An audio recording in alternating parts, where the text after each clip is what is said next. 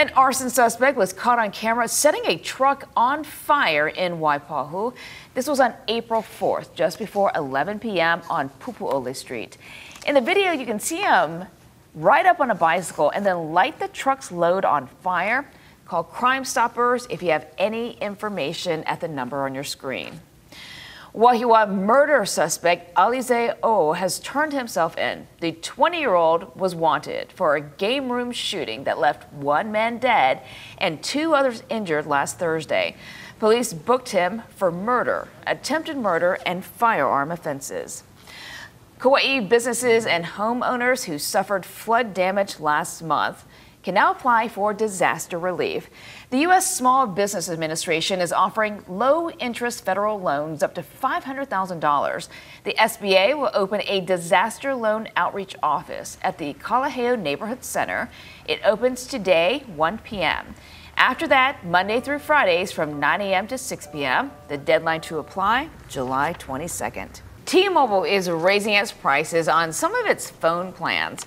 Some customers will see a $5 hike per phone line monthly. The company confirmed its price increase on X, saying that it is, quote, adjusting prices to respond to rising costs. Select customers will see either a $2 or $5 increase as early as next month. Amazon is planning to overhaul Alexa along with adding a subscription fee.